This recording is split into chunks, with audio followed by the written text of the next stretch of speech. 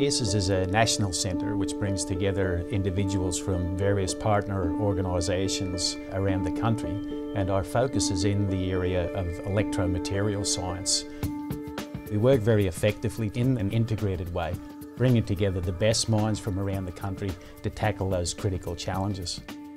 We're particularly interested in how nanoscience applies to electromaterials, these materials that conduct charge, transport and transfer charge we can tune both the physical and biological properties to create better energy devices and better devices for medical bionics.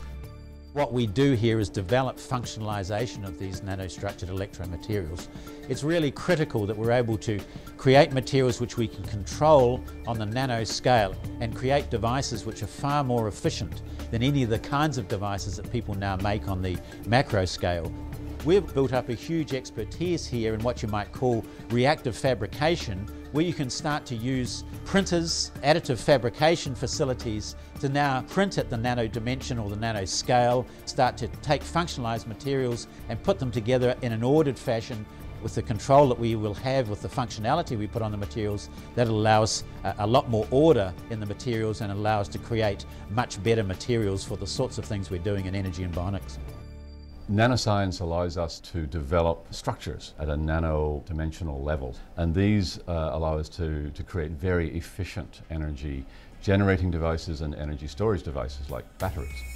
What we're talking about in terms of water splitting is, is a, a relatively simple chemical reaction which, uh, which makes hydrogen from water as a fuel. The, the big challenge in water splitting uh, is to make uh, electrode materials that are very efficient in this water splitting process.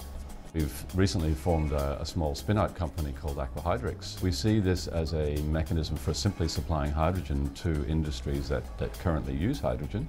In the bigger, longer-term picture, we see this as an alternative fuel source and, and that will create whole new industries and, and whole new uh, supply chains of, of energy uh, based on hydrogen.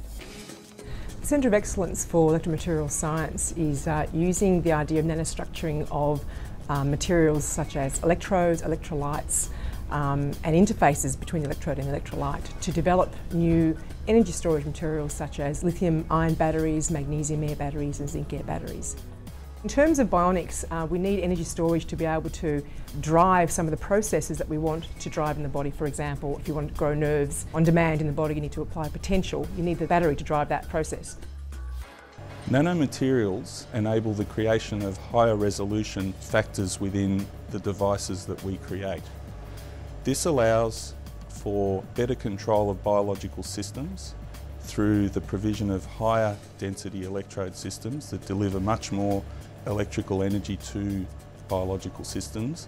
ACES Bionics research has utilised nanomaterials in the formation of structures that provide very highly controlled guided growth of nerve and other tissue systems, whilst also creating electrode structures with much better capacity to deliver electrical stimulation to biological tissues.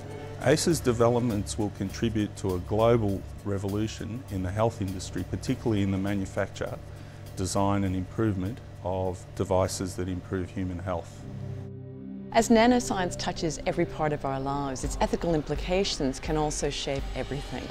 The ethics program is closely linked with the bionics program here at ACES and within that uh, we do a lot of work on how developments in nanoscience, in electromaterials and in bionics can affect society and the ways in which social attitudes can shape the way we understand and respond to those developments.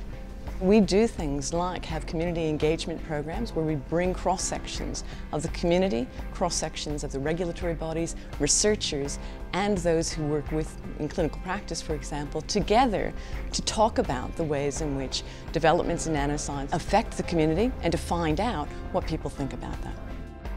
We've built up a, a, collaborative network around the world over the last 20 years or so. ACES hosts an annual symposium which brings together experts from around the world and the whole purpose of the symposium is to consolidate existing national and global collaborations and to identify and build on new opportunities for collaboration. When we can all come together, we can learn from each other, and in the end make much better research. This is extremely important because it's good to collaborate with people and get feedback of people with even results and data and even new ideas. If you want to get a um, connection, a link between different universities and different groups, this is the right place to be. We are sitting at a very exciting place in the research of nanoscience at the moment. As we can separate and process individual nanocomponents, uh, we've uncovered extraordinary properties within those nanocomponents. But now our challenge is to take those nano building blocks and to assemble them in three dimensions with control over where they are distributed and realise real practical devices in energy or in medical bionics uh, that can have immediate application. We do appreciate that the challenges that we're faced with are big global challenges uh, and we think that we need to build big global multidisciplinary teams pulling together the best people in the world if we're going to deliver practical outcomes to those challenges in the shortest period of time possible.